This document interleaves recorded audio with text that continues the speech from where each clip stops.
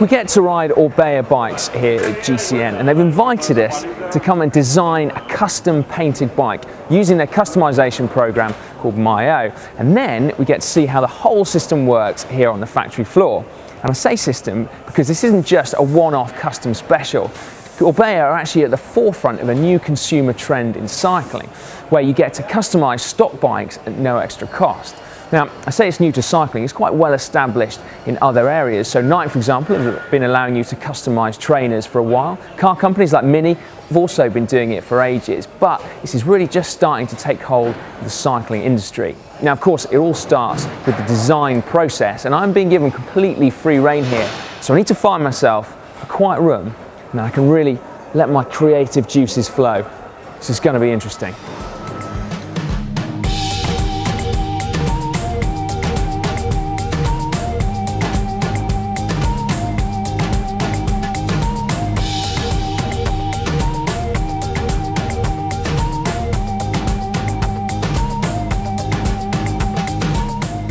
So I'm here on the MyO section of the website. Now it's not completely custom in the sense that I couldn't choose, I don't know, leopard skin fading to lime green, for example. But what they've done is break the frame up into five major sections. Now I'm able to choose from a selection of colours.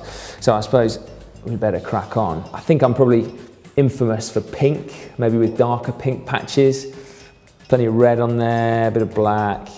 Right, crack on with that in a bit. Now, as a consumer, when you've actually placed your order, that's the point at which the process then disappears into the ether, leaving you waiting to receive your potentially unique bike. But what actually goes on between placing that order and you receiving it? I think we should go find out.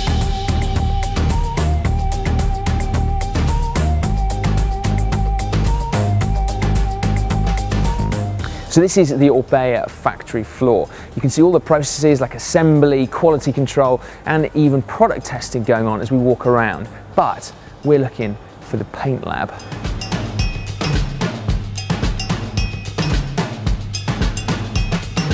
So here it is.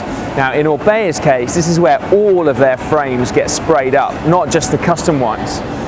But in the case of the custom, your order gets printed out and then attached to the appropriate frame. So here we are. Now mine is a 55 centimeter Orca. It's my color scheme. I think you're gonna like it.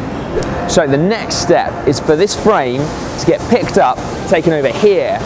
Now, this lady then looks at your color scheme and then masks up the frame so that it can then be sprayed up in the paint shop, which is just over here. So this is where the magic happens. Voila.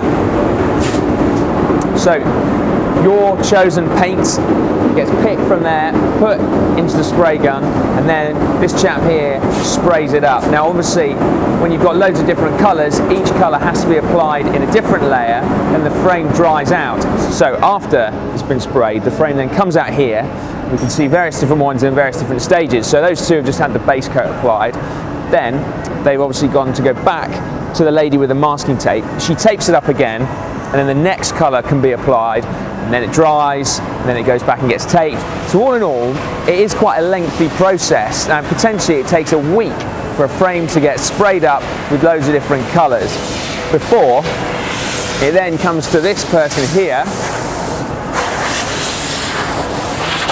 who's currently cleaning the frame because she's then going to apply the decals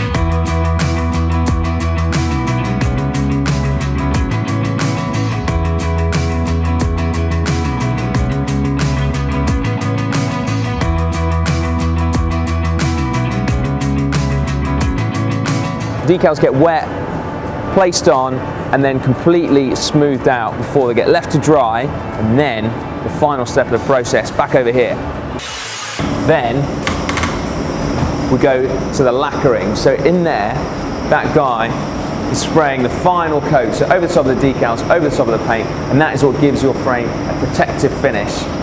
Now the lacquer doesn't just dry though, it goes in here, which is an oven, then your whole frame gets baked and then it's good to go. Okay, so after quality control, the frame then gets put on a production trolley.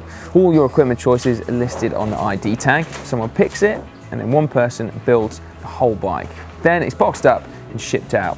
I'm getting mine sent to the GCN offices. Let's wait and see. Here we go, the finished article. I genuinely have not seen this bike yet. Let's go for it.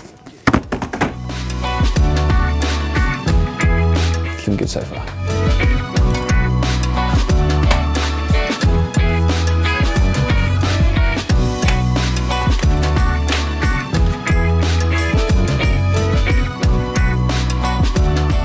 There we go.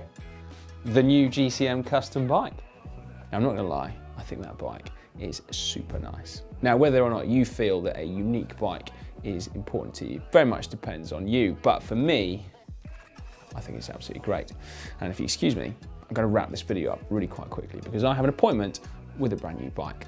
Now, I don't want to leave you hanging. If you click just up there, then you get through to our tech playlist where we've got loads and loads of great videos about bike tech. Or to see an Orbea Orca, just like this one, one that actually wins bike races, and lots of them, click just down there for Nacer Bouhanni's team bike. Otherwise, make sure you subscribe to GCN. To do that, just click on the globe.